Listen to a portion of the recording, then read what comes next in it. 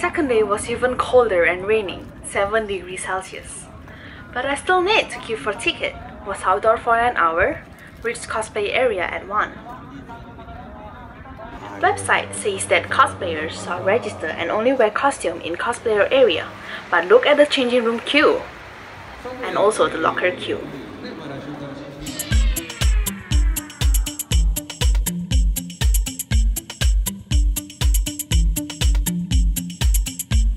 I cheated by changing at the toilet and placed my stuff at coin locker, or else I'll be only in course at 3 pm.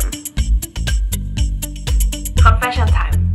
Anime Japan website says that no one shall live in cosplay, same goes with no one shall wear costume at public toilet, and cosplayers are registered for official changing room and locker. Registration fee was 1000 yen. Honestly, the fee was fine, but I couldn't follow the rule due to too many people. Of course, it's good for them to refrain cosplayers to reserve public toilet, and storage space is awesome, as most of Japanese cosplayers actually bring luggage with them. But thank god, there's actually coin locker literally everywhere in Japan. Cosplay area was combined with food area. Honestly, I find the place so narrow and cramped and feels like there are actually more photographers than cosplayers. Cosplayers put a sign of their contact details Ikemen cosplayer. Creative cosplay from Kimi no Na wa. And another from Demi Tanto and I didn't stay long since I wanted to see finish the exhibition area. Plus, it was pretty hard for me to walk around. Photographers there were extremely friendly and polite. They always ask for permission. Only one photographer at a time, even though there's a queue. Photographer do request for poses, sitting pose, candid, back pose. Although I kind of feel sad since I don't have official Twitter account to communicate with.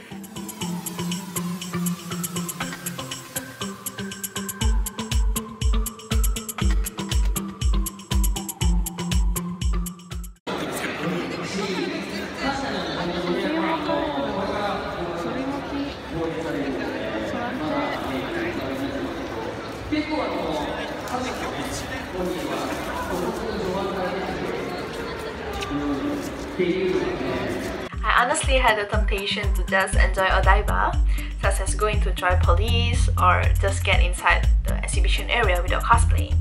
But since I actually spent an hour under the rain, it was very cold and I actually skipped lunch, carried extra bag plus Yohane's wing.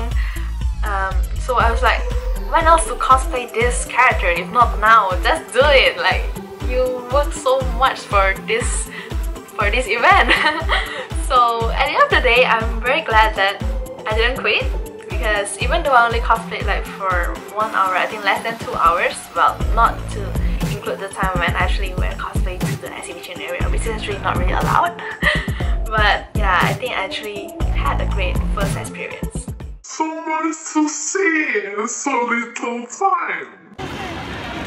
Back at the exhibition area, huge titan and cosplayers to take picture with. Beside my heaven, time to molest my boys. Karaoke contest at Master's. Lost Fallen Angel heading to Collaboration Corner.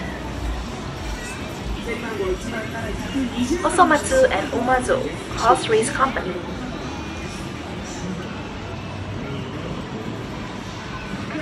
Bay Hotel collaborates with King of Prism for Fujoshi Hotel room.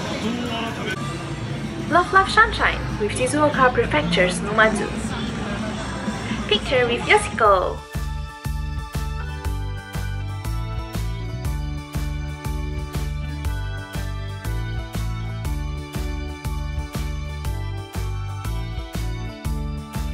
As expected, Japan's anime event is huge. Well, it's the same place with Comiket, so I can imagine Comiket being that huge as well. But um, even though it's huge, everything was tidy.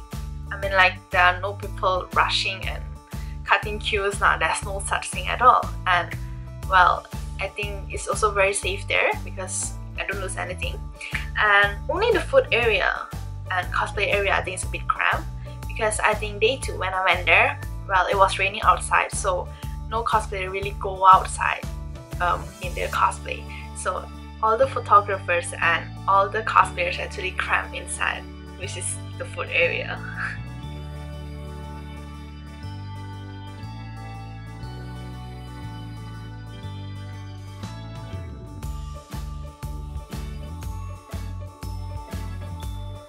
Well, for commemoration, I actually kept both of my tickets.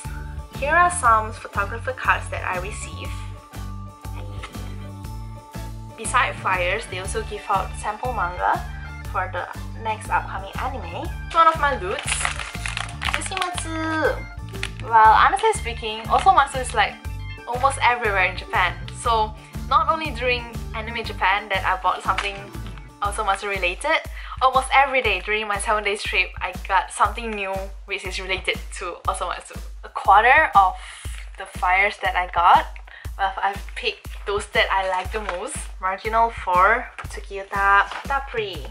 Cospa, clothing, and of course there's also cosplay.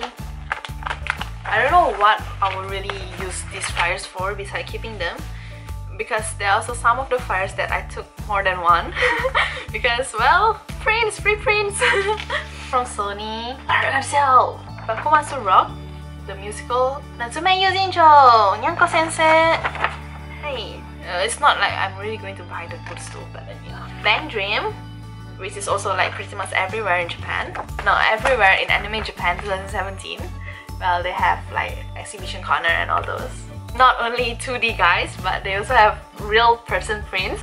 They also give out clear file, upcoming Gintama live action movie, Live Sunshine, but behind it is Bang Dream, Touken Ranbu, live action.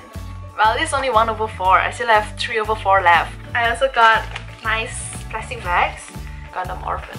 Oh, orphan! Kazuki. Base behind this, Love Live Sunshine. This must be from Bandai. Thank you very much for watching my two videos of my Anime Japan experience. There are still more videos coming up because Anime Japan were only a weekend, two days. That means I still have four more days in Tokyo. I will also be writing down a blog post soon because there's still a lot that I want to write, a lot I want to express, a lot of details. Don't forget to follow my Instagram, my Facebook, my Twitter. Uh, I just started Twitter. Maybe you want to check it out.